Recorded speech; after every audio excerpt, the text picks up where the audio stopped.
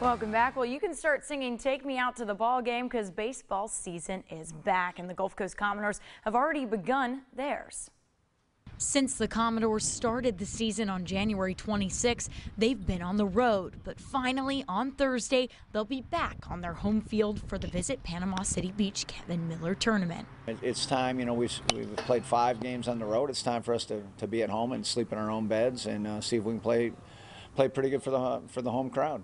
Playing at home is extra special for five Commodores players because the home crowd is their hometown crowd. I mean, it's a dream come true playing for your hometown and coming out and playing with all these great guys. And the bonds on this team is just irreplaceable. These players are always appreciative of the fans, and getting the win for them is always what they strive to do.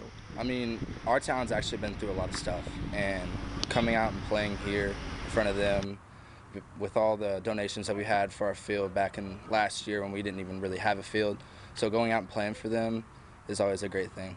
Gulf Coast head baseball coach Mike Kandler said he's happy to have the local talent because they each bring something to the table. You know, we don't ever recruit based on geography, but we do start recruiting, you know, close to home. And if the players are good enough locally and they fit what we need, which that's a big part of it. Sometimes people, why didn't you take this guy? Well, we can't have 12 shortstops out here or whatever it might be. So um, but if they fit our need and, and they're from here, we'd like to have them. And we've been very fortunate. Panama City High School baseball has been really good for a long time, and we've had some really, really good players from, from the local area, so it works out really well.